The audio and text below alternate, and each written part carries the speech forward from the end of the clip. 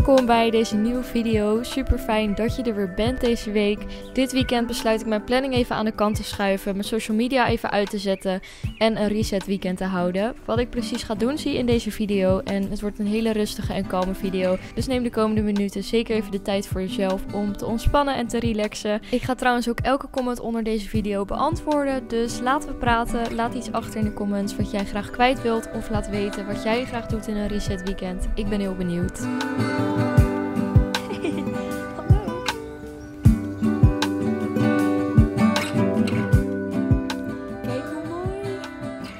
Is zaterdagavond en ik ben een wandeling aan het maken en het is zo mooi. Ik zou vanavond eigenlijk uitgaan en dingen gaan doen, maar ik dacht nee, ik had gewoon even niet de energie. En ik dacht laat ik gewoon even afzeggen en een avondje gaan chillen. Gewoon in eentje. Oh hoi. Soms is het gewoon zo lekker om even je plannen af te zeggen en je planning te verschuiven. En gewoon eventjes te doen wat op dat moment goed voelt. En dat heb ik nu ook heel erg. Oh, ik sta echt heel erg in de modder. Mijn schoenen zijn sowieso echt heel vies. Want het heeft zo hard geregend. Ja, sowieso de afgelopen twee dagen had ik echt gewoon even dat ik dacht. Gewoon waar is mijn inspiratie, waar is mijn creativiteit. En ik weet gewoon van mezelf, als ik dat heb, dan moet ik gewoon even afstand nemen van alles. En even een soort van resetten. Of gewoon even tijd voor mezelf nemen. Ik wil je in deze video meenemen in wat voor dingen ik doe dit weekend om een beetje te resetten. Sowieso had ik besloten om gewoon even geen social media te doen. Ik neem je mee in deze dagen. Ik zou nog wat meer vertellen zo. Eerst nog eventjes lopen en genieten van de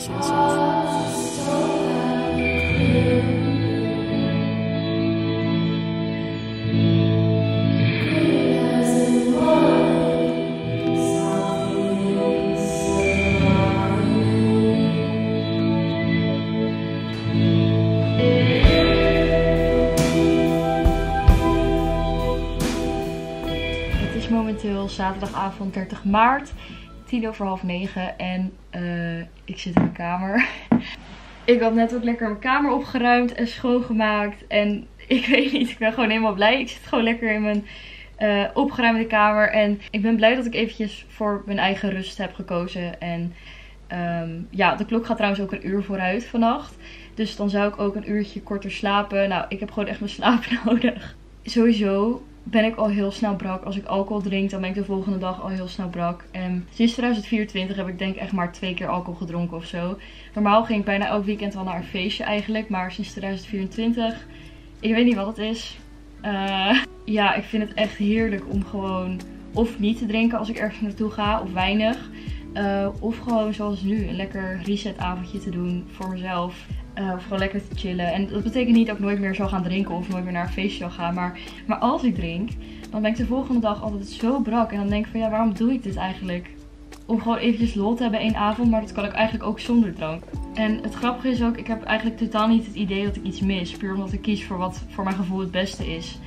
Achteraf denk ik terug aan deze dag en denk ik, wow, ik ben echt blij dat ik gewoon heb gekozen voor mijn eigen rust. En gewoon die planning heb verschoven. Achteraf gezien je weet gewoon wanneer je in lijn bent met je gevoel. En dat heb ik nu ook. Ook al had ik dat op dat moment nog niet. Diep van binnen wist ik, oké, okay, schrijf die planning maar op en we zien het allemaal wel. Ja, ga achter je gevoel aan. Als je iets hebt gepland op een zaterdagavond, maar je hebt helemaal geen zin omdat je moe bent. Of je je gewoon niet goed genoeg voelt. De juiste mensen accepteren dat sowieso wel. Ook al vinden ze het misschien jammer. Als ze echt begrijpen hoe jij bent, dan snappen zij jou ook waarschijnlijk wel. Als je zegt van, ik blijf een avondje thuis. Dat sowieso. Um, en ik ben heel blij dat ik ook mensen om me heen heb die dat ook snappen. Soms is dat gewoon echt nodig. En um, hoeven we niet altijd maar iets te doen om iets te doen te hebben. En ik heb dat zo erg ingezien de afgelopen jaren. Ik, doe het, ik ga echt alleen nog maar ergens heen als ik echt zelf graag wil.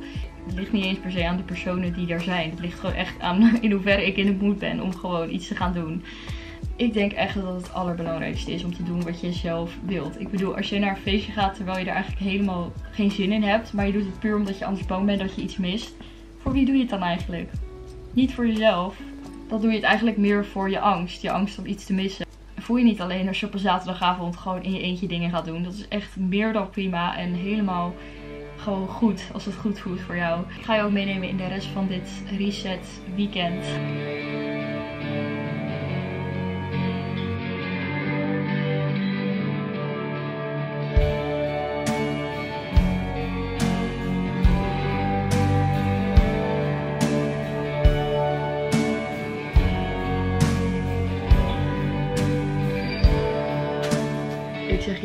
Maltesers na. Opgewarmde stroopwafel. Je mag mij hier elk moment wakker van maken. Ik vind het zo lekker. Het is echt perfectie.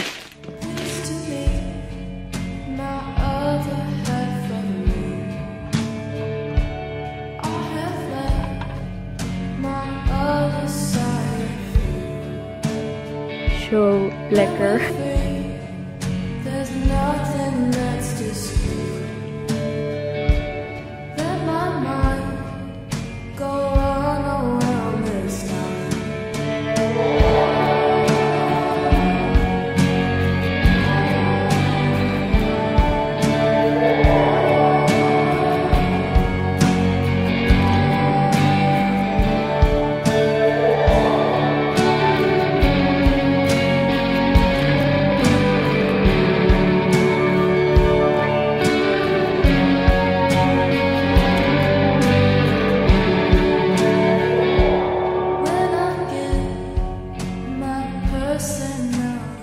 Paasdag zijn we dus in Zeeland. En ik merkte echt dat ik het super fijn vond om ook gewoon eventjes niet steeds mijn telefoon erbij te pakken. Nou, behalve dus om deze stukjes te filmen. Maar in ieder geval eventjes geen social media te hebben. En echt gewoon te genieten van wat ik op dat moment aan het doen was. En dit is tweede paasdag. Hier zo gaan we naar Leiden. Daar zie je ook wat beelden van nu. En dat was ook echt heel gezellig. Was echt een super spontaan idee. Met Anne, Koen en Daan. En in de avond hebben we lekker soep gegeten. Mama had groentesoep gemaakt, dus dat was heel lekker. En ja, voor de rest gewoon echt ultiem gechilled. Net zoals wat Sammy hier doet. en geen idee wat Flory deed trouwens.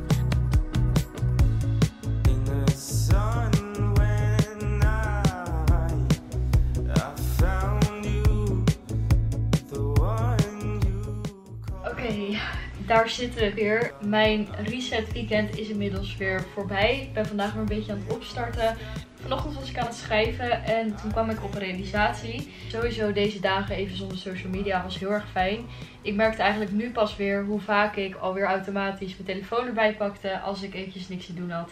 Dat merk je altijd gewoon als je eventjes een tijdje gaat detoxen. Dat je ineens denkt van oh ja, ik was eigenlijk wel iets meer verslaafd dan dat ik dacht. Dus dat heeft me zeker eventjes goed gedaan. En dat zorgt er ook voor dat ik minder snel mijn telefoon wil pakken. En wat ik hier ook heb opgeschreven is, je kan veel meer met de energie van creativiteit en inspiratie dan met de energie van stress, moeheid, burn-out.